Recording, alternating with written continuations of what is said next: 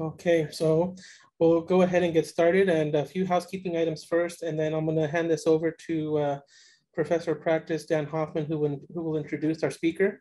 Um, First, I want to thank everyone for joining us. This is the fourth event in our CAPLA uh, lecture series. And today with us, we have Rozana Montiel from Estudio de Arquitectura.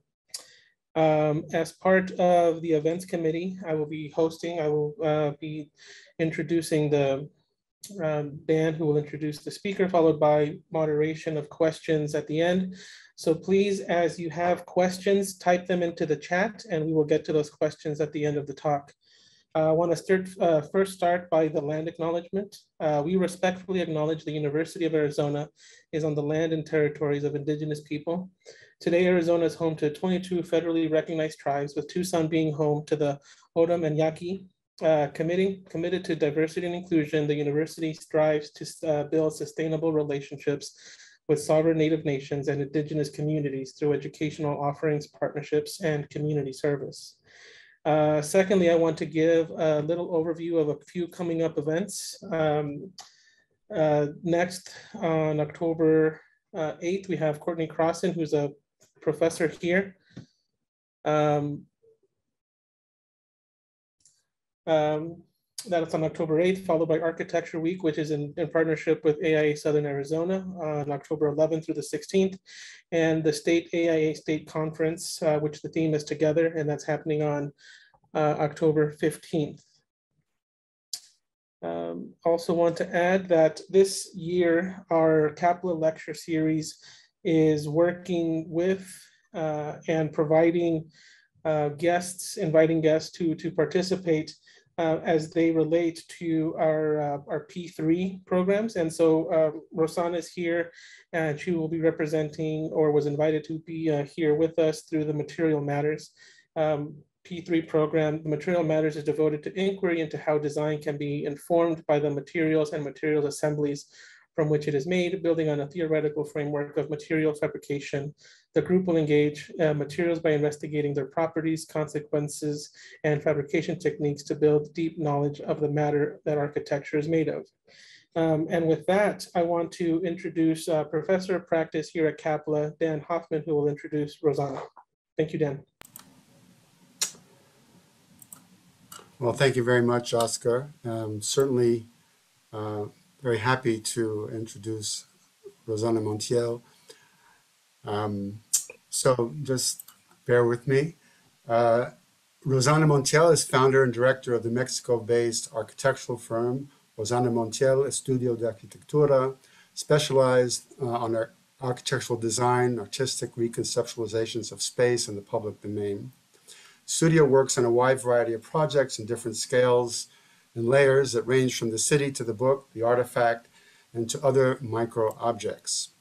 Montiel holds an MA in Architectural Theory and Criticism from the Universitat Politécnica de Catalunya, UPC, and BA with honors in Architecture and Urban Planning from the Universidad Iberoamericana in Mexico City.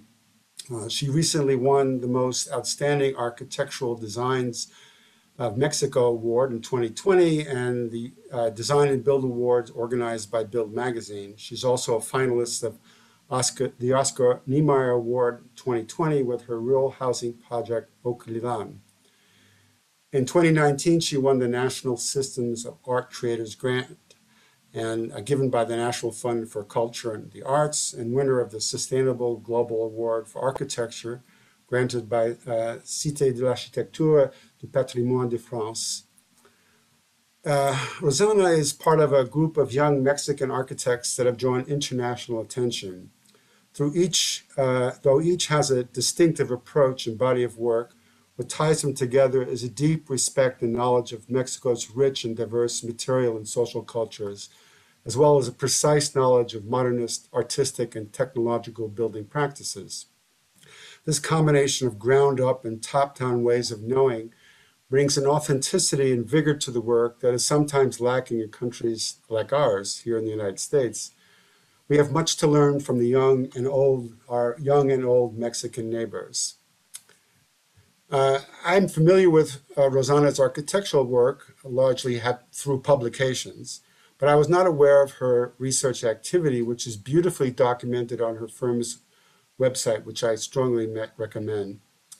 The variety of projects, types, and modes of inquiry is inspiring, reminding us that architectural research can also be informed by one, a wonderment about everyday things, be it the mapping of a worker's, worker's pushcart through the streets of Mexico City, the formal analysis and construction of a piñata, an inventory of everyday objects used for seeing, a meticulous survey of possible common spaces in a public housing project, the delirious mapping of a city, documenting the vibration patterns of a thin pool of water, community conversations on the way to activate public space. The list goes on and on.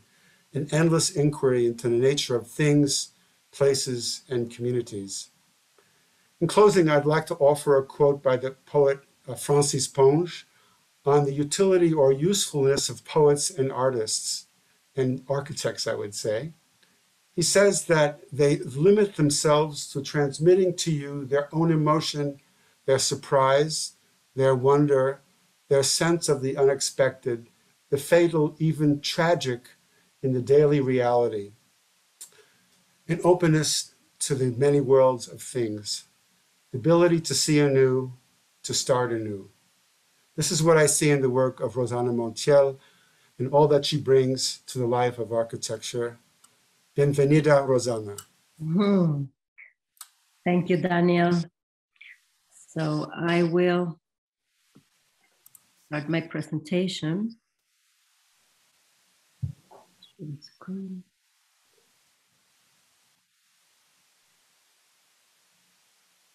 Is it there complete? Yeah. Okay. So um, good evening, everyone. Thank you. Thank you for hosting this event. Thank you to the University of Arizona, to Beth, to Daniel for this beautiful presentation, to Oscar, for, to the whole team for making this possible. I am very happy here to present my work through this, this presentation called Something from Nothing. The idea of doing more with less has been a source of inspiration and a creative tool, and also a way of going back to the essential. So, what I will present you today is how we have been doing in the office projects that come almost uh, from nothing, where you can find a lot of things. I can as as i say in a teach in a course that um, in a studio that we're teaching with sanafrini that we can find a lot of abundance through scarcity and how scarcity can become a creative tool uh, very inspirational and very powerful to bring abundance so i would like to start telling you about this project that refers to the production of space coming from nothing but pencil and paper. So uh, it is, we just opened, this is a recent exhibition in Mexico City in a very important museum, the Museum of San Ildefonso in the center of Mexico, where um, I decided to mount thousands of white sheets what I call blank thinking sheets to cover the whole walls of the area where we are exhibiting our work. And um, this talks and reflects about the idea of the void. How does void um, and the blank sheet plays a role in architectural design? So um, what I would like to, to tell you about this is the story, which is really interesting because we started um, putting like all the white sheets, and then we were going to exchange many of these sheets to place the projects that have been drawn by pencil, by hand drawing, by, well, not pencil, by, by this thin uh, pen with more uh, around 50 projects of the office. But what happened was that um, we were putting all these sheets, and suddenly the pandemic started. So the museum closed the doors. And as we were all shut down, the museum was also shut down. And um, it closed for a year, a year and a half. It's opening now, the 1st of October, with our exhibition. But while it was closed for a year and a half, I, was, I, I always thought what was going to happen with those sheets, what was happening with those sheets that were kept, because we really were like one day it was open we were ready to put all the, the, the exhibition and suddenly it was closed and after a year, I asked the museum if I could go and see what happened to the sheets. I thought that these blank sheets were all in the floor, were really yellow. I, I didn't know what happened. And to my surprise, when I opened the door, I found this. It was more beautiful than ever. It was like there was a lot of dust. The paper had um, acquired an amazing texture. It was really, really beautiful. So for that moment, I decided that something should happen there. That how could I inhabit the void, and how could I start like playing with these blank sheets, like doing also like recognizing the moment that we were living. You know, how do we when we were shut down and when we reopen? How can we come back with a new way of seeing things? So I decided to invite it to dancers which could talk also about the void. And I had to change the, the area where I was going to exhibit. So I had to dismantle all these sheets that are recycled and will be recycled in small um, drawing, drawing um, small notebooks for people to continue thinking about this blank sheet. And what was really impressive was like I, I thought, how can we call also this this new exhibition? Because obviously, through time, it had changed, and as things has have changed while we have been in this pandemic, like we were also thinking about how this exhibition would change at, and could also say something about two things: how to inhabit the void. Well, three things: how to inhabit the void, how can we re um, renew ourselves or see things with different eyes and also how can we think about the creative way on how we start constructing things. So we this is like part of the drawings that we did. We were um, many, many voices have been working in this project. Marie Combet, which is an amazing illustrator, has drawn many of, of our drawings, all the girls of the office, uh, the, the dancers. So I, I always think that architecture is more than just a, so, uh, a construction with bricks, but it's a social construction. It's a construction of a language. It's a construction of narratives and stories that we have to tell everyone. And it's also about working with different disciplines. For me, it's really, really an everyday more. It's very important to work with different disciplines. Why? Because this, all these different disciplines inform our projects. And here is um, while you walk through very close through these sheets, they move. So they have a voice. And as Daniel said, like Francis Ponge, this uh, poet that I really admire. It's like, how do we see, see things? Um, how do we um, see architecture through things? How things are also alive. And for me, these blank sheets were blank thinking sheets, and they were alive. They were moving. They were inhabiting the void of the museum. And they really wanted to express something. So here are like part of the drawings. And I would like to share this teaser. It's just the teaser of the video. So I call the exhibition Blank in Three Acts. So Blank in Three Acts, I'll show you this and then I'll tell you why. I hope everyone hears.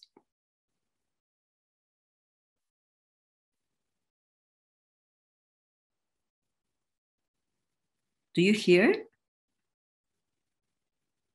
here.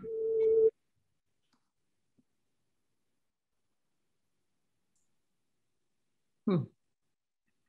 I think it's not playing. Oh. Sorry. Um, it's not playing, right? It is. We can hear it. It's probably just the internet connection. Yeah, it stopped. I don't know why it's not moving. Maybe it's really heavy. Or...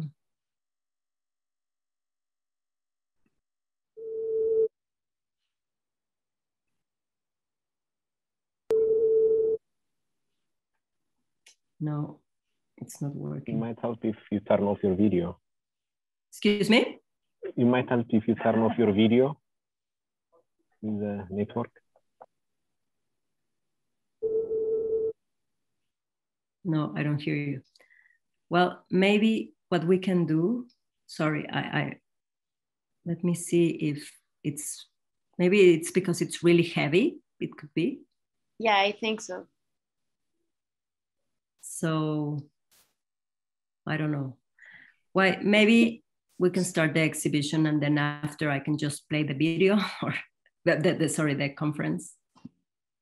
Because I think it's not going to play. Let's try one more time. He suggested if you turn off your video, you might get more bandwidth.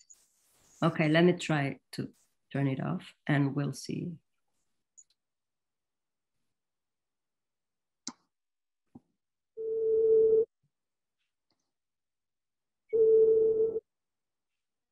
No. Oh, I'm really sorry. I don't know what's happening. Well, I think I can.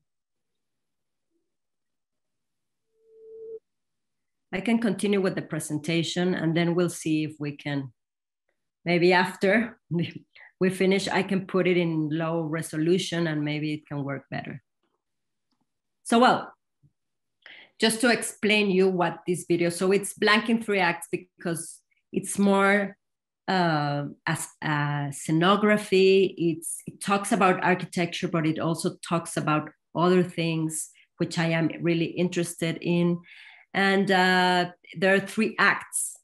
And it's also because what we do at the office is that we really like to act. Even though they don't ask you ask us for a project even though whatever we do we try to act. I'm going to turn out my video also because maybe now you're not seeing me sorry. So oh do you see me? You're not seeing me right? No. Art video sorry. Here i'm i am again and i put play. Okay. So um blank in three acts has three acts. Act one is inhabiting the void which is this the teaser of the video that I wanted to show you about how we can interact with our body, with uh, words, and with space.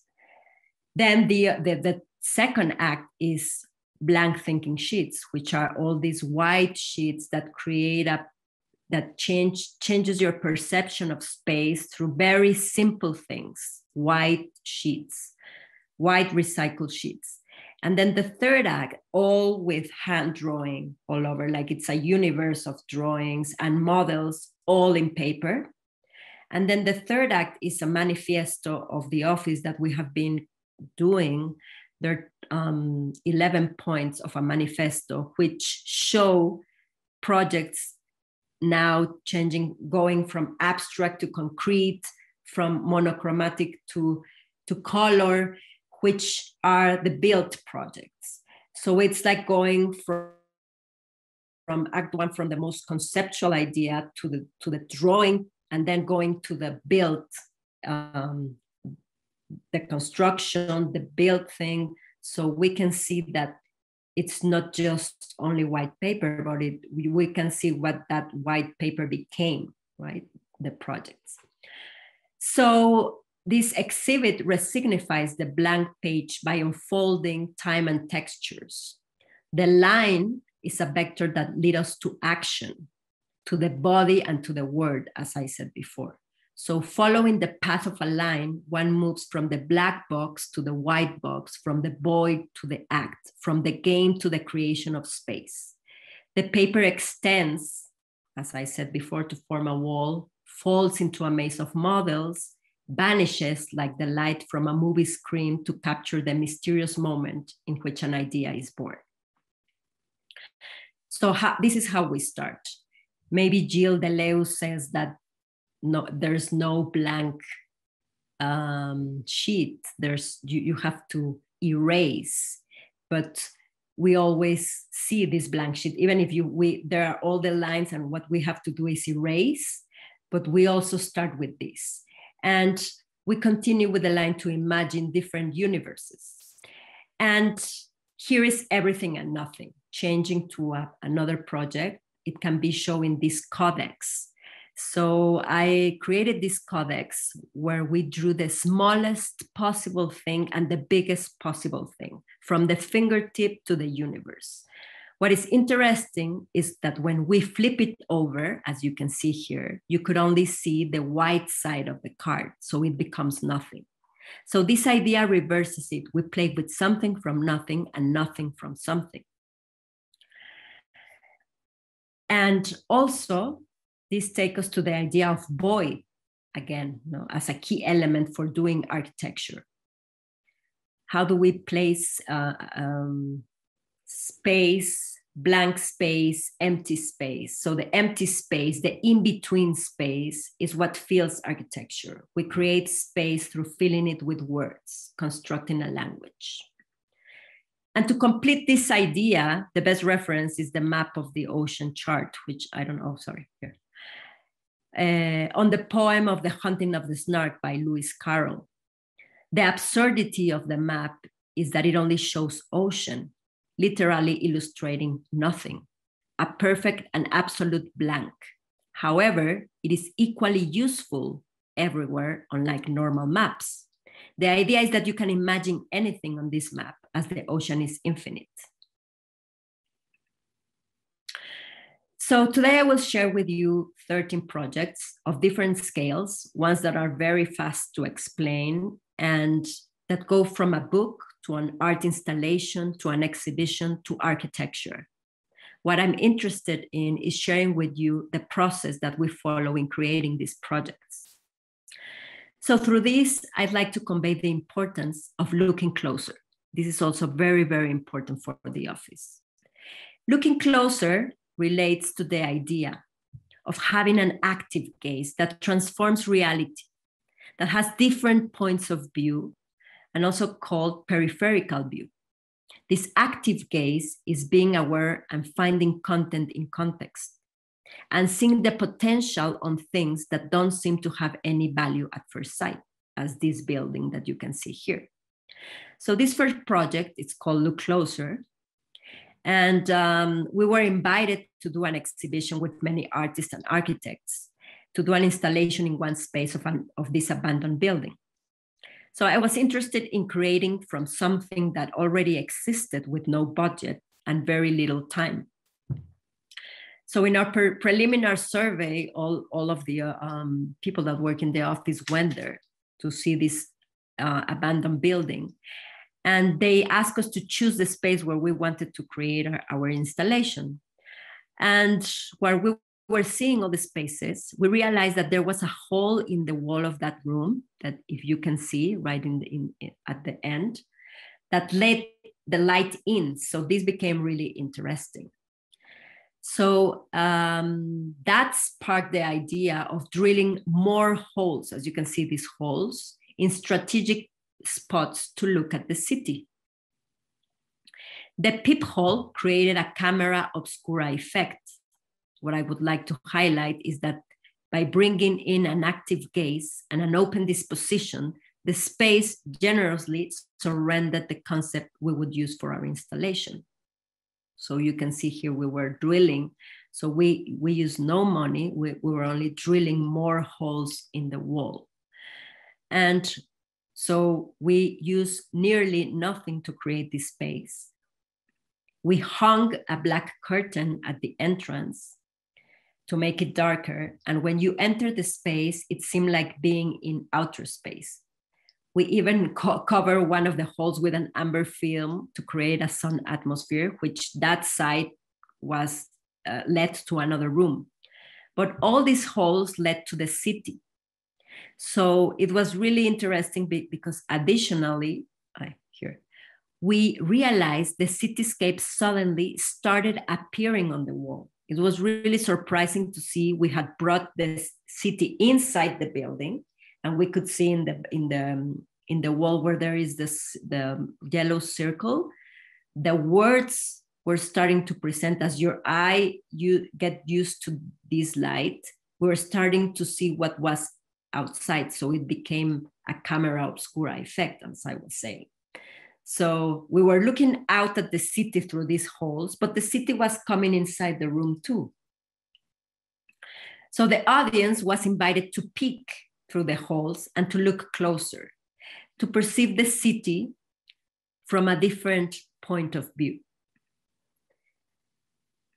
So to me, the best way to understand architecture is to instill the practice of looking closely at the things we have already at hand. In other words, to acknowledge the versat versatile thing in the so called no thing. So, as a private eye, I set out to reconstruct context for the fragments that I encounter in the city objects, subjects, situations that interlock and intersect sometimes meaningfully, sometimes nonsensically. They create textures, density, and atmospheres. So this second project is called Optical Objects, and it was also done for an exhibition. We started by collecting cameras and magnifying glasses, and we, we spent sorry, we spent nearly no money on the piece. But we also reproduced the cityscape the lenses are grouped into different heights and concentrations, forming a space of relations like that of the built environment. Each lens generates a small distortion in the surrounding space that blends in with the whole. This is the way I see the city. Buildings and public space articulating different densities. So this installation of the magnifying glass mirrors and lenses created a po poetical way to express the eyes and the gaze. When you play with multiple scales and layers of representation, fiction helps recolonize our sense of the real creatively. And so this relates with the city. This is Mexico City. So, how can we be as playful working in the city? Cities often collect places and objects that have come to nothing something from nothing explores play stuff in the design process and forwards a methodology to observe architecture played out in context. So again, this is Mexico City, the place where I live, where I work. It's a city that seems to never end. It's a continuous landscape. And for me, this is the place to act. By acting, I mean using a methodology called site actions. Site actions work through resonance. They are public events that change the local atmosphere and create a memorable imprint. This shift of attitude is the most far reaching construction element we can begin with. In order to achieve placemaking, people caring and willing to commit to their public well being. It begins with a ludic gesture. And here is an example of one of our site actions, a labyrinth drawn in an underused, dusty field in a marginal neighborhood in Mexico City. In fact, people from these two neighborhoods uh, never talked to each other. They were often fighting. So we proposed drawing this space as a game. Game for us in the office is really, really important. Acting in a ludic way is important to change people's perception so if people were engaged in playing in the labyrinth at the center, they would have to talk and enter a dialogue. And the result was agreement between neighbors. So the fascinating thing about ludic site action actions is that they can pop out of a simple chalk line. So we have to never underestimate the power of a line to redefine space. And these are some of the drawings that you can see where we translate. This is a Marie Combet drawing, which translate the idea of the two neighborhoods and the labyrinth and how people, when they gather in the center, were able to talk. So through, again, saying through very, very simple actions, we can change people perception that it's something ephemeral, but can become more permanent. And um, the next project shows how just a single line, now a circle line in three dimensions, as a round wall with one material, you can contain emptiness and void. So these lines show the map of a pilgrimage walk, uh, walking route. For the last 200 years, each year, approximately uh, thousands of pilgrims from across the western highlands of Mexico travel around the springtime more than 70 miles by foot. We were invited with Derek Dellekamp to do one of the 10 landmarks along this route. We call it Void Temple. We were really inspired with this because um, creating this temple was more about creating relationships and how shelter is the primary action to do and how we can create shelter through um, relations. So these were all the circles that we were inspired of. And this is the, the white concrete wall that forms a 40 meter diameter circle, which we design is a piece placed amidst pine woods that respects the topography of the site. We're just, we just move one tree we were trying to land this piece and to understand how the topography and how the landscape work to really take care of it. And so this essential feature is to be an open boundary, an austere tectonic gesture in the landscape that marks more than a site or territory. It is an expression of timeless space the sense of timelessness evoked by historical circles of stone is due to the fact that their form is not bound to any specific vital function as this um, void circle. And, but except for the idea of the very vital one of building significant relationships. Whatever their intent, these spaces were active through the bonds and exchange which set them in place. So the greatest task of architecture is to build relationships. Relationships are the primary shelter of any society. With them, proper shelter cannot exist. So relate, relating with this idea of the walk and walking through a line and going up and down through the highlands of Mexico, we come to this next site action that we work around the Guadalupe volcano in a marginal neighborhood called Miravalle, always understanding the limit between the city and the natural landscape. So we invited people to come for a hike and climb up the volcano, which most of them have never done. Despite the community's proximity to the volcano, they had completely turned their back to the natural world. The hike had an enormous social impact again, doing side actions with no cost, no budget, something very ludic, something very easy, but something that it's important to change people perception. So um, for the first time, they said that they, the community look at their homes from the volcano perspective. The irony could not be any greater considering the fact that Miravalle in Spanish literally means look at the valley. From there, people got interested in finding a way to make a secure path line in an underused side of the mountain, what was what they call a park. They had understood the power of the walking line, and the community joined us in doing some actions through lines. One was a 360 meter chalk line that draw the path, as you can see in the center, the second was a 360 meter light bulbs line, the first one that you can see in the image, held by people. In this way, they were claiming the right to light the park. And finally, the neighbors were able to build a safe park with a lit path that was now much safer.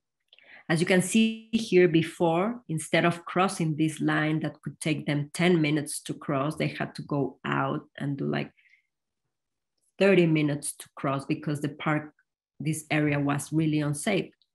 So how can a line can be so powerful to change an unsafe park into something safe?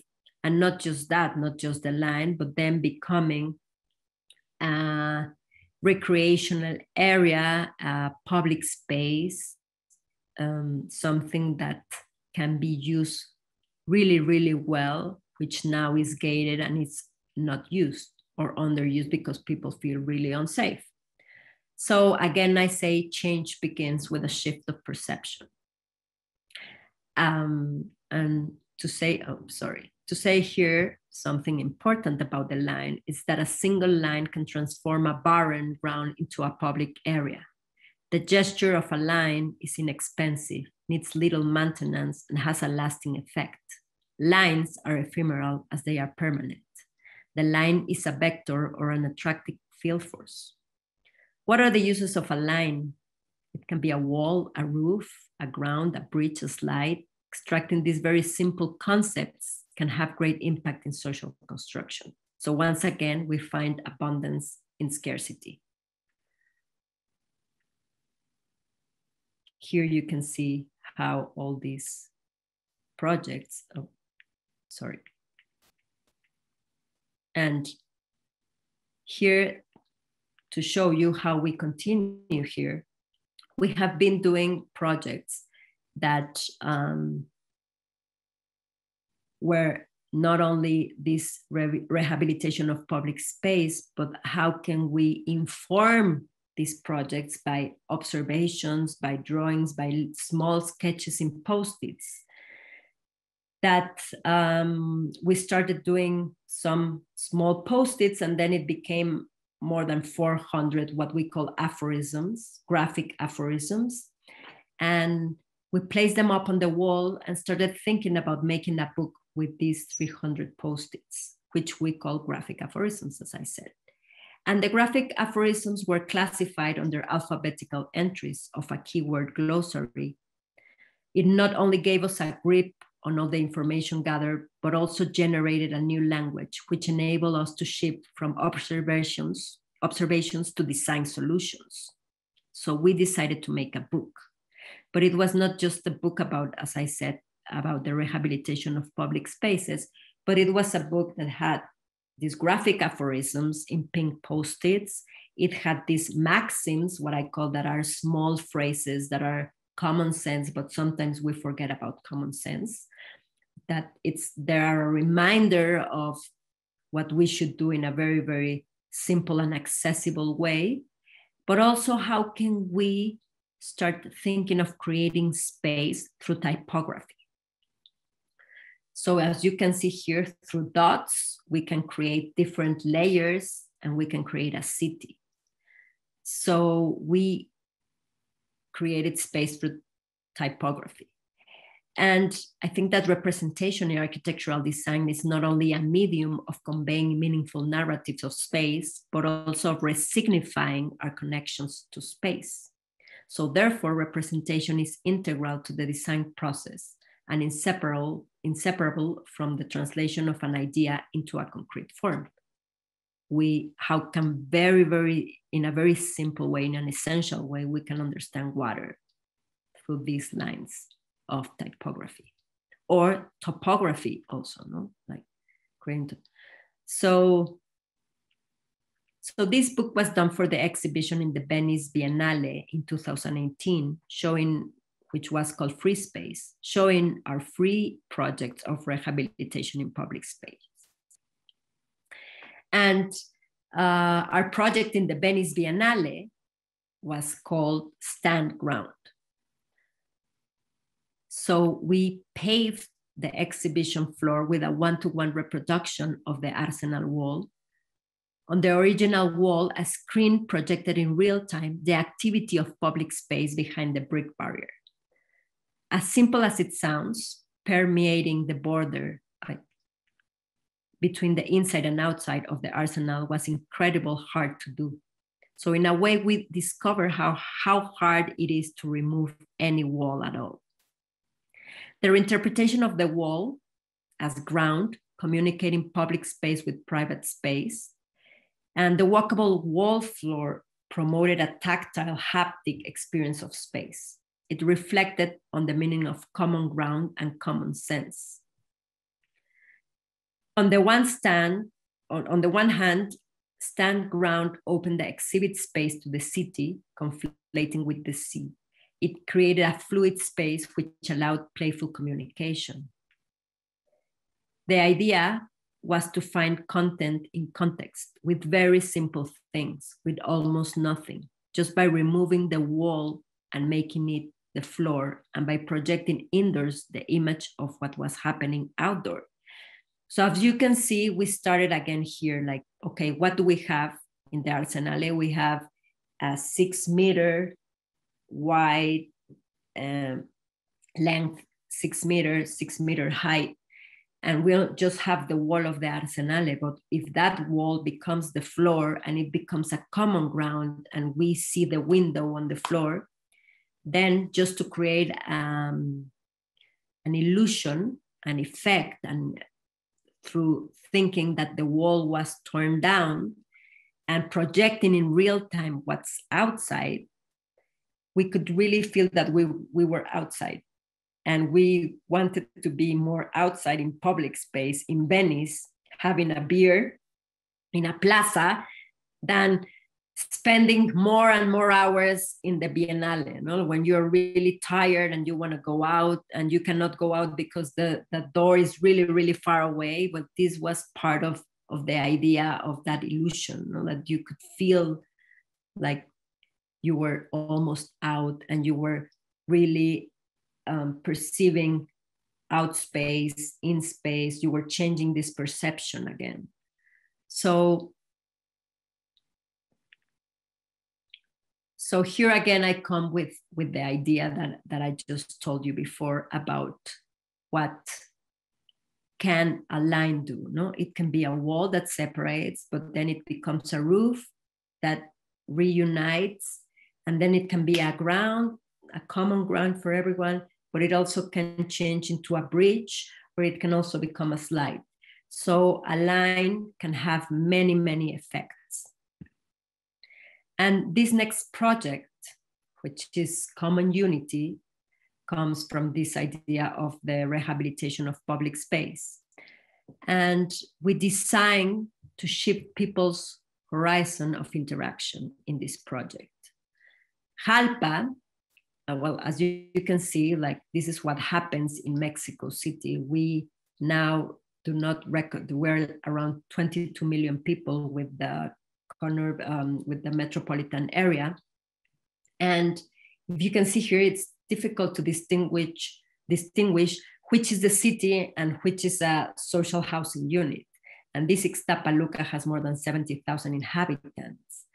And uh, in this idea, it's how can we rethink the idea of the city through social housing? Because social housing is really really important and it's really massive in mexico. So um, this is jalpa. It's an inner city housing complex of 7000 inhabitants where we rehabilitated some of the common areas so when we arrived to jalpa we found a fragmented housing unit zoning and access had been altered through walls, fences, and barriers mounted by residents for protection. Can you imagine? Even cars are locked inside cages. One of our design strategies to free privatized space for public use was to shift the vertical, as you can see here, to um, the horizontal. The vertical are railing, walls, gates, enclosures which separate and divide. And we change it for horizontal that are roofs, shelter, floor patterns that connect and encourage community interaction. We found it like this and we transform it into this. The horizontal structures became more than just a roof. The shelter common areas we designed expanded the program of potential activities through compact multifunctional structures or kits that cater to all age groups from the clock. The place experienced as a system of courtyards developed integral low-cost improvement of public space by resignifying simple materials. The flexible boundaries made the common areas more than a front yard or a park because they are private and public at the same time. Design spoke for itself. People willingly gave 90% of the barriers, and Jalpa became a common unity. We also, in Jalpa, we also recycle an existent space for cultural activity. There was an old leaky shed, this, called El Saloncito, that was already in use as a multi-purpose room for school tutoring, knitting clubs, and religious instruction. Our intervention brought out all its potential. A totally different space emerged in the same place. We kept the exact same area of the old one, but the use of natural materials, open visuals, and light transform it into a welcoming place. A patio donated, um, a, sorry, a bookstore donated an important collection of children books, and the Saloncito became a library. We went from a gloomy shed to a sunny library. As of today, the place is filled with life and constant community activity. Neighbors take turns to sweep the fallen leaves instead of felling the trees. There are outdoor Zumba classes, knitting clubs, chess matches, football matches, ceremonies, and movie nights, as you can see here. So any environment, regardless of its apparent lack of assets, has at hand a most invaluable resource, people. The new space facilitated a different kind of ownership and appropriation, one that habituates inhabitants to work for the common good. Through placemaking, we build with the community, not only for it. Our design substitute barriers for boundaries. Placemaking is understanding that the added value of architecture is activating a social construction that leads to non discriminatory economic growth and development. oh, sorry. So this project is called Court. And for this project, as you can see here, this is not a Photoshop, this is reality. This is what has happened in the last 20 years in Mexico, in the outside of Mexico, through this massive, repetitive, generic architecture, which forgets about people, which forgets about public space, which uh, really diminishes the idea of social interaction and makes a big and enormous space for automobiles, for cars, for these streets to be humongous and forgetting about where can kids play, how to interact, how to, you know, like all these things that can lead to through this type of architecture. So how can we stop that? How can we change our idea of that? And what has happened that many of them, thousands of them have been abandoned because they are not close to any area where you can have um, services, where you can have education, where you can have transport, where you can have recreational areas. So uh, this is Veracruz. This is on the Gulf of Mexico, um, near the ocean. And we were working in this place called Lagos de Puente Moreno, which it's a social housing, a unifamiliar social housing where more than 25,000 people will live there. So the spaces that you see that are not covered with houses will be covered in the next years or in the next months, more or less to say. And um, we were given just a court, as you can see in the center. We were given that court, and they asked us to put a roof on that court. So Veracruz, as it is in the Gulf of Mexico, it has very hot weather. And it has an amazing vegetation, which is incredible that in with an amazing vegetation and that everything that grows, because when it rains, it really rains. There were no trees here. So if you can imagine, nobody used this space during the day because it's really hot. You don't have something to cover. And at night, there was not enough light. So it was an underused space. So in the office, we are always thinking that these underused space are really spaces where you can activate them in very um, simple ways and almost with nothing. So we transformed that space into this. And one of the main ideas was to put vegetation. Today, these palm trees are really, really big. And today, all this space is covered with shadow from, nat- from, from natural things. So again, it's using common sense with very simple things. And when they asked us to cover the court, we gave them almost a community center and we expanded to that area that we were not given this, this part and they accepted to give us that area when they saw that we were planting all these trees.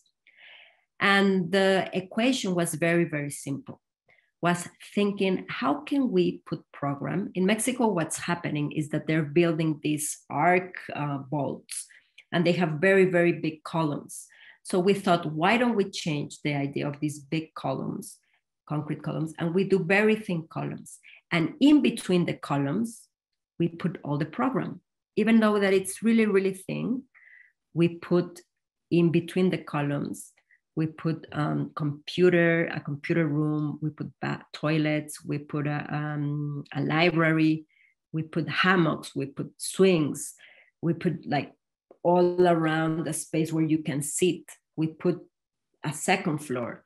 So um, here is where we extended. We put an agora, we put um, things to make gymnastics for, for people so it can be used by all age of groups. Even a biologist came here to talk about medicinal plants.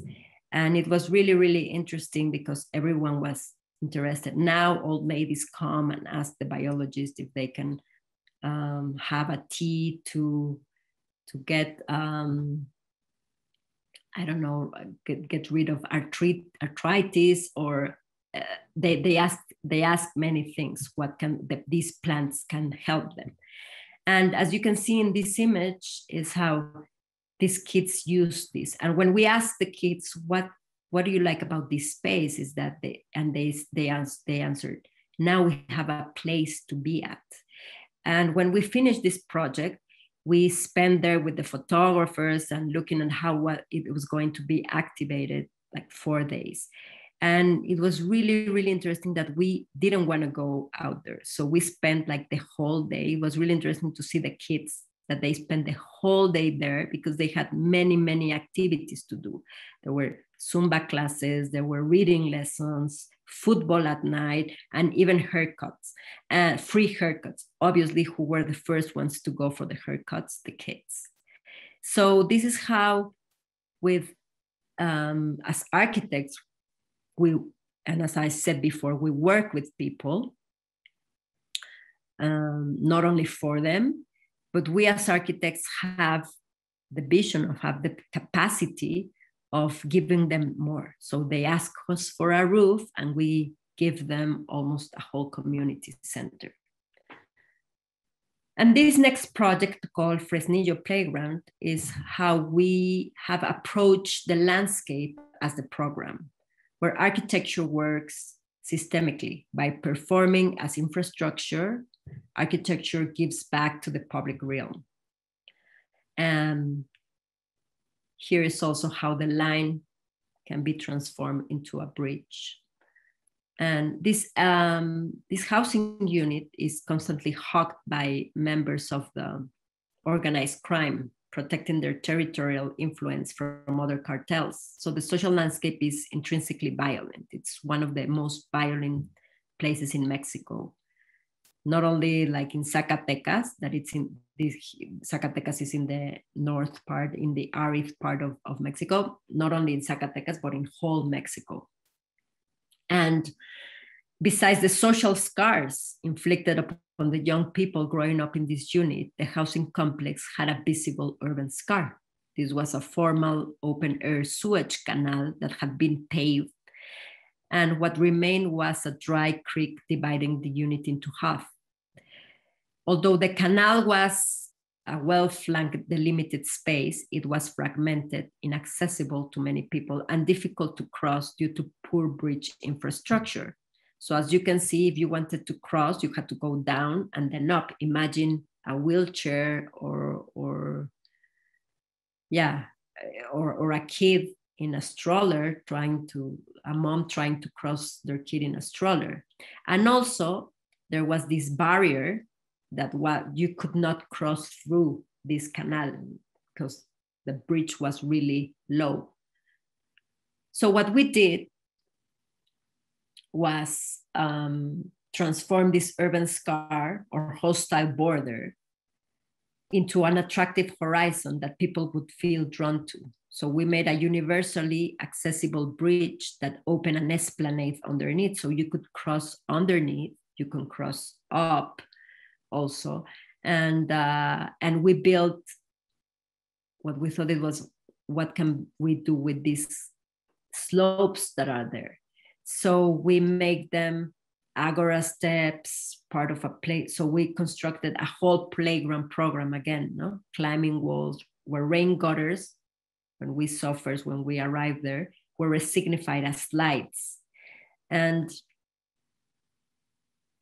this is how all these lines of color on the ground also suggested different activities. In fact, what was really interesting was that the most dramatic change on the cityscape was affected through mere color. We changed the original shrill, aggressive colors on the buildings to, uh, as you saw before, to a new earthen palette that made them more welcoming on the human scale and blended them with better natural soils of the area. Residents felt like they had moved to a different place, not having moved at all. Color gave them a sense of fresh start and made them feel at home. So, playgrounds and youth hangouts are essential in bringing a community together. Children and teenagers are vulnerable, are vulnerable segments of the population that should be granted as many places for learning as possible. They are also crucial, like um, like Lalo, which is a leader here, he's crucial for the community as an element of social integration and, re- and regeneration. No, no, no, no, not Lalo, but, but everything that is created around her. So playing becomes a sacred form of living, and Lalo and all these kids led by by Lalo uh, have like transformed the space into a place. I always say that space is more abstract, and place is where we construct uh, meaningful relationships. So we always say that we transform space into place, into place making. And now, as of today, there are more than a hundred kids playing there where they before didn't have a place to play. So if playgrounds have anything to teach architecture is that we that would be keep it open and simple. Open and simple means modular, multifunctional, easy to keep and to run round the clock, custom, customizable, expandable, pleasurable, and with room for plenty of productive exchanges and encounters.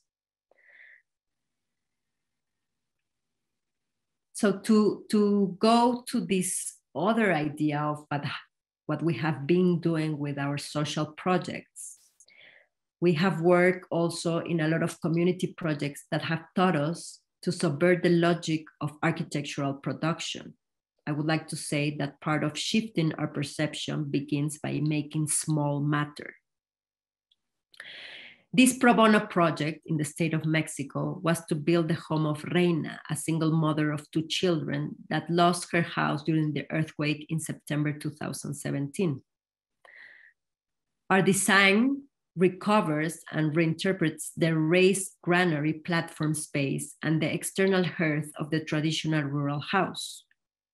So as you can see here, this is the space where the house of Reina was. And we had exactly the same small plot to build her house. So we decided that we should go up for having more space and for introducing spa- spatiality into their, into their home. So the house achieves a thermal interior thanks to the use of the eco block walls and wood. All the wooden elements are from recycled construction wood scaffolding. This is how Reina was outside when, when the what happened to, to her house when the earthquake came. And our mixed design is economic but highly effective as it increases the value of the original property while improving the daily well-being, social environment, and economic opportunities of the family as a whole. This is how you can see how we built this attic, which became the room of Caleb and Edgar, his brother. Caleb has seven years.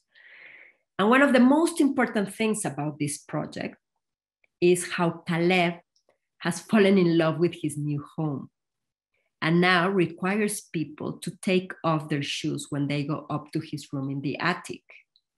He has taken ownership and is proud of his home when he used to live in miserable conditions no windows, no bathroom, leaks, dirt, no privacy, no materiality. So his change of perception is visible as he now understands beauty as a basic right. So, how does a tiny home such as this make small matter? First, we had to work really fast. Catastrophes are so demanding that their timeframes offer an opportunity to work intuitively and efficiently. Second, we adapted to the maximum budgetary constraints and available materials. We turn a low cost construction element, the wooden pole, as you can see here, into our main structure, which was also very beautiful. So this small house shows how traditional can become modern and vernacular can be innovative. And third, small matters because it's a good way to prototype solutions in a model scale that can be taken to a larger scale. This picture was taken just two months ago, and this is how Reina has taking care of her house. As you can see, her plants, her curtains. So the, the, the, the house is perfectly kept. This is also another prototype that we did in San Mateo del Mar in Oaxaca, where we used the wooden pole as, um, as the main element again. This, um, this area in San Mateo in the coast of Oaxaca. It's critical, it's a very critical environment because it has really extreme conditions such as earthquakes, strong winds, sandstorms, floods. And we did another pro bono project, housing prototype, to design a modular hexagonal multifunctional structure on pilotis, like lifted up with palm roof and wooden walls.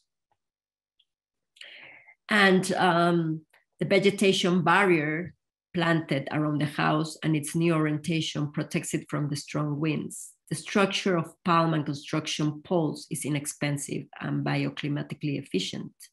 The home stays cool at high temperatures thanks to cross ventilation while remaining warm and impermeable under heavy rain. So this structure is used to sleep, to, to eat, to do different, different activities. These wooden poles were the main structure of the previous houses and are resignified from their original purpose. So what is very interesting is that this exhibition called Nada Sobra, Nothing is Left Over, was um, came from our, our observation of wooden poles we display these ephemeral structures that master build builders to support the building construction. So they asked us in, in the exhibition to work with uh, masonry or carpenter or uh, somebody that work in the construction and try to do some some um, to use some elements of our observations of the city to resignify them. And thinking again that we didn't have any budget and very little time, what can we think? And we, as I was really obsessed with these wooden poles, uh, these construction poles are sophisticated as they are raw and honest. They're inexpensive, it's leftover wood, recycled over and over again from one construction site to the next. They are permanent as much as they are temporary. They craft the right balance of forces to support and balance the making of a building. So, we the contextualize the wooden poles from the site, and we took them out of their context and brought them into the museum as a ready-made. With no budget and with one material only, we acknowledge leftovers as an essential component for project development, and we prevent them from becoming waste. As I have shown you through this presentation, an active gaze takes the side of things. It allows us to listen to the voice of objects to discover new possibilities within them and resignify them. So I would like to conclude with this object, the crate. Here is a poem by Francis Ponge.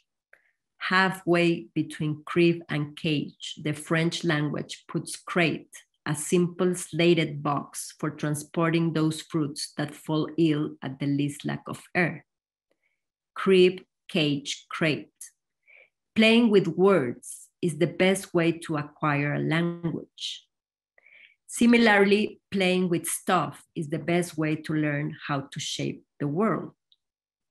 A crate is such an ephemeral object, casts off as soon as it is used. But yet, it has the potential to build an entire cityscape. But we only discover other functions and possibilities in a crate after we have lingered long enough with its shape. Cities often collect places and objects that have come to nothing. Its repurposing takes place after we see a connection between the scale of the object and its resonance with the scale of the city. So, this is how we go from no thing to something. Thank you very much.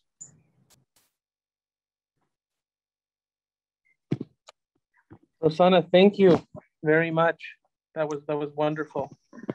I wrote down so many notes, so many just random things. I underlined a lot, and and um, yeah, I think this is exactly why um, lecture series are are so important in the in School of Architecture uh, in schools of architecture. It's it's it's um, reinvigorating, it's inspiring, and it's great to um, to hear all of these things and, and and then just you know find again things that you haven't maybe considered in a while, but they're back and they're relevant. And and again, I just want to thank you for um, for sharing your work and sharing your perspectives with us. Um, and I'll ask if, the, if anyone has any questions, please enter them into the chat. Um, Dan, if you don't mind, I'm also going to lean on you a little bit uh, since you are with the with the Material Matters group to, to kind of jump in.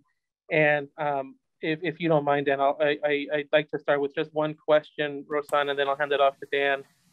Um, and my question, again, it's going to be uh, a little selfish one because these are the things that we're talking currently in my graduate studio, where we're currently focusing on on mapping and, and revealing. And a lot of what you talked about touched on that. And something that I wrote down is, um, and if you can tell to our students here your perspective on how important it is to quantify and reveal the immeasurable, right? You, you talked about the ephemeral, uh, you talked about transforming something, uh, nothing to something, space into place. And a lot of these things are very uh, poetic and romantic concepts of, of, of just recognizing and seeing things um, for something else. So I don't know if you want to touch a little bit on that and, and kind of uh, give a little bit more views of that. Sure, sure. Um, so, well, thank you very much. And well, I think that um, architecture has these both parts, the prosaic and the poetic. And for me, it's really, really important to always work in both sides. So we have this idea of the prosaic as, as like this very, um, how would I say, like like I have, well, I have, to explain it more, I have also this project about the subway stations in Mexico City, and this this project has has these two parts, no, the the, the prosaic, which is the very concrete, the the the, the subway, the the the routine, the everyday, the thing that you go with, but also this, how can you change this idea and convert it into something poetic? And we have been thinking about utopic ways of transforming these buildings into social buildings because it's incredible that there are 22 buildings on top of the subway stations in Mexico City of the line two, one, two, and three, and they are underused. And we're thinking, why, why don't we transform these buildings into something much more useful as public vertical spaces? And not only that but also inserting all this poetic idea no? Like it's it's how can we always deal with these two? And i also say that we we work with these side actions in a qualitative and in a quantitative way. So in a qualitative way it really relates with the experience with the sensorial with the haptic that not looking only only through eyes but also through our body. And this is how we move through space uh, to, with our body. So this is why, uh, oh, maybe I would play the, the, the, teaser and we can end with that. I, I will try to open it in a different way.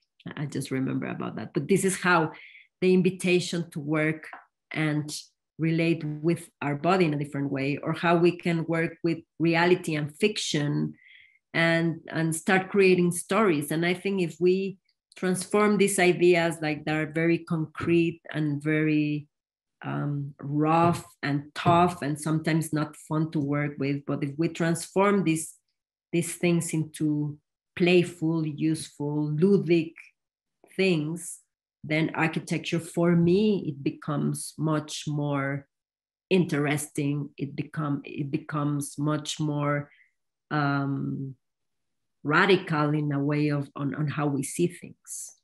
I don't know if I'm answering your question or not, but again, you're saying more of the right things that I that, that I'm enjoying, and and yes, you did. I'm going to hand this over to Dan. Uh, it's too much for me to handle. um, I, I, I, just, I, I, mean, I certainly open the questions to the students and others. I, I really don't want to. I, but I had one thought, um, uh, Rozana, listening to the seeing the work. And um, you know about about the tabla rasa about the empty page what's what's so interesting to me as much as you speak about that the social you, you make a little opening for the social and it just pours in you know? You make a bridge you make a roof and suddenly that no space becomes space becomes a place through the desires in, uh, of community you know? So what i find so strong and vital about the work is that you op- you you open the door for that. And that's that's in some ways always been part of architecture. How can it how can we have architecture without it? But we this the discussion of the formal and the sometimes closes the door to that. And so you open the door and you fill you fill that void very very quickly and almost effortlessly. Mm-hmm. Almost. I know it's work. I know it's work. I know that. Yeah, simple can But there's something that something has been missed. You know what I mean? That it, that in a certain sense you found the key for, and then poof, suddenly there's there's there's places and possibility and joy in life where there wasn't any. And it's just almost magical to me. Mm-hmm. so I, I i don't it's just a comment. It's just just just a feeling. Yeah. I mean. thank you daniel. Well it seems it seems very simple but it's really complex no? It, it has like a really big complexity to to become really simple. And and more than the tabula rasa, um, I would say that the blank, the blank sheet is more like a blank thinking sheet, no? That uh. where there are many possibilities where you open possibilities to redraw. Also, what I say that redraw is also a way of transforming reality, and it's really, really important for us to redraw because it's the way that you can see really and look closer into the details that are not very easily seen. So it's subtle, it's, it's there, it's how to make visible the invisible, how to make extraordinary the ordinary, how to open new boundaries, how to change barriers into boundaries, you know, like these open boundaries, that it's not the same a barrier as a boundary. Again, the barrier limits, stops, separates, the boundaries more open. It, it, it permits, it's, it's um, the boundary permits a way of exchange. It's, there's possibilities. So, so this is always the idea. Well, I would say as soon as you make the void, it, it's instantly filled somehow in your hands. You make the void and then whew, it's filled up. Mm-hmm. So it's a it seems like a two a double action. Uh, anyway, I, but others, please, uh, other comments. Yeah, other there's a um, a couple of questions here in the in the chat, ah. um, and I'll, I'll, I'll kind of read these. Uh, a question is, um, my question is on the steps to entry and captivate the public to become part of projects. For instance, line through the park. Mm-hmm.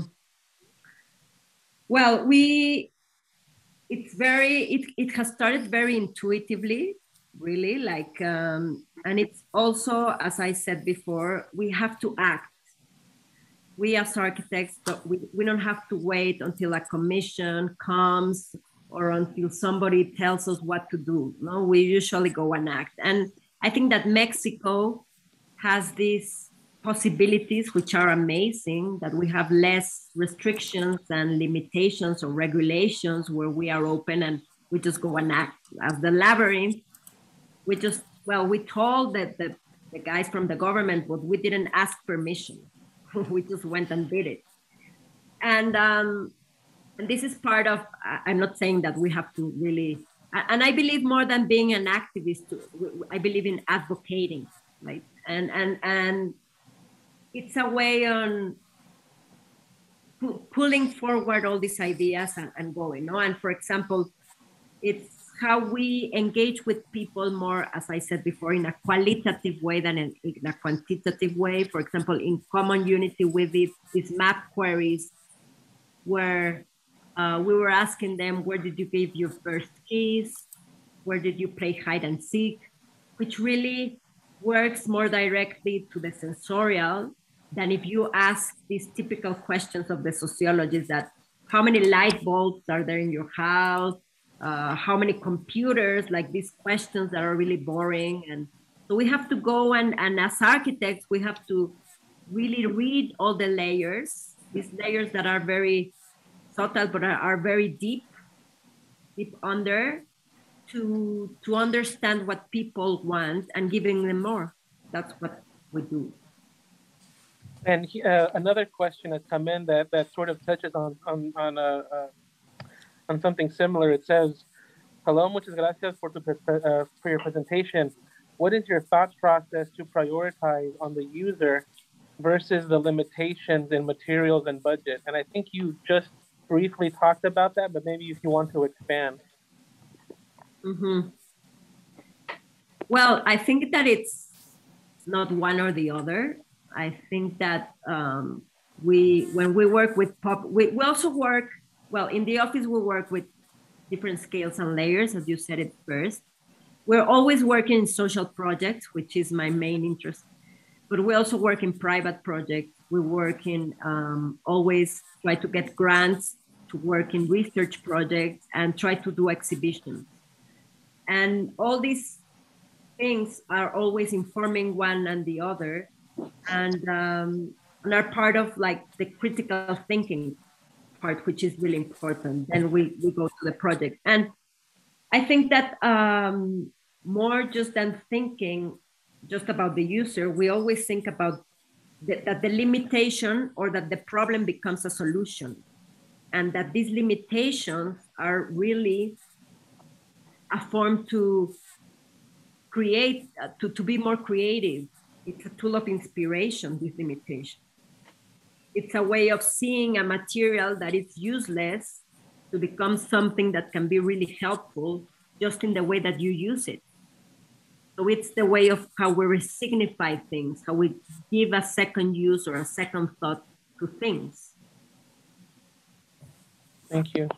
A couple more that we have here. As you helped to change communities and create new spaces that change the lives of the people, did you ever have self doubt on whether the change you used were the most effective? If so, how did you get past the self doubt as an architect? Sorry, I was reading again the, the, the, question. Can, can you repeat it again because I lost it? No problem. As you help to change communities and create new spaces that change the lives of the people, did you ever have self doubt on whether the changes you used were the most effective? Um, well, we we work with. Well, there, there's always something that I say that we the, the project is not finished when you end the construction. It's starting. It's starting its life. It's starting its, its public event. It's starting the activation of this this space. And I think that what is really important, and we should all as architects do, is come back after several well come back several times to the projects that we have done to see and to learn about them, not to see if they have worked or not, if they have been useful or not, what has happened to them, and and what are like to learn and to improve the next project. So I I, I think that we have to work with and, and I also think about about this question that we as architects have the responsibility to work with uh, different groups of people. We have the responsibility to work in social projects and work with the most affected ones and um, and try to bring the most out of it. So. Awesome. Thank you there's one more in there the first one it said um, it says hello it was a really inspiring lecture how were the projects in more dangerous areas initial, initially received by locals? Well, um, it's a matter of time and trust. And sometimes there's no time, but I think trust is really important. And I think it's very important to listen. And sometimes as architects, we don't listen. And we have to listen very carefully. And uh, I think it's not always, it's not easy at all. It's very, very difficult. We have been working in a project of a market, which we have been socializing, and it's been really, really hard. And they don't want to do it. And it's not about an architecture issue, but it's a political and social issue. And I think that uh, many times it's a political thing that has not, that that they really don't hear them you know, the poli- like the politicians and they say something but they don't do it that way and and they feel like really so so and then architecture is also embedded in that no it's it's it, it mixes it's complete but we have been there several times several meetings and the last thing they talk is about architecture and it's really interesting because i'm there to present the and, and they're talking about other issues that are really, really important for architecture. And that we really have to understand that first of like architecture is political also and and that these social issues have to be worked in multidisciplinary ways. And when they don't work like that many times architecture fails. So so we have to learn how to deal with um, the institutions. So we, I think that we're in the middle from the institutions or as, as we call from the top down to the from the bottom up that are the, the community. And we architects are in the middle trying to to work with both and trying to understand both. And sometimes it's very difficult. They don't teach us that in, in, in architecture school.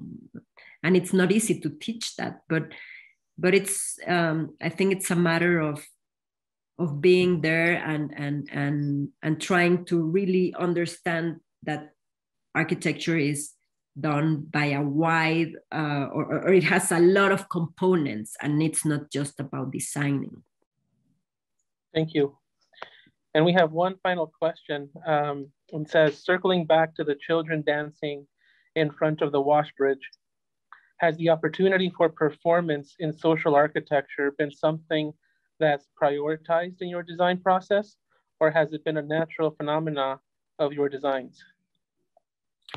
Well, I, I, I like that, that, that question with the idea of performance, because I think that that's, it's very, very important now with what I do to perform and to act in different ways that, that this comes with perform.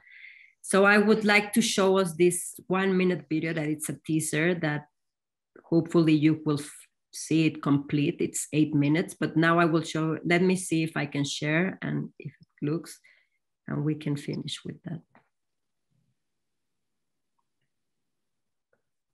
Do you see it, everyone? Yes. Do you hear it? Yes. Do we hear it?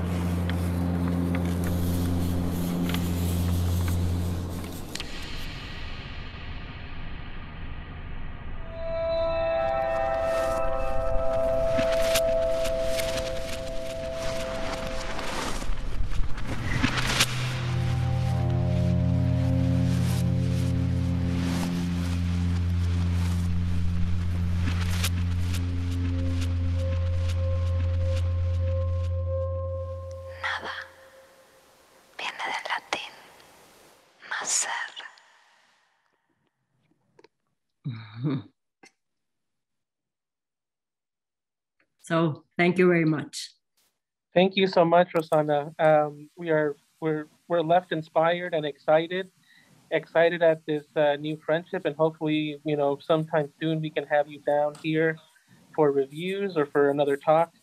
Um, and so, welcome to uh, to our network, and thank you again. Thank you for everybody that joined us today. Uh, be on the lookout for uh, the upcoming events in the lecture series. Um, and again, Rozana, thank you again for an inspiring talk. Thank you very much, Oscar. Gracias. Bye bye.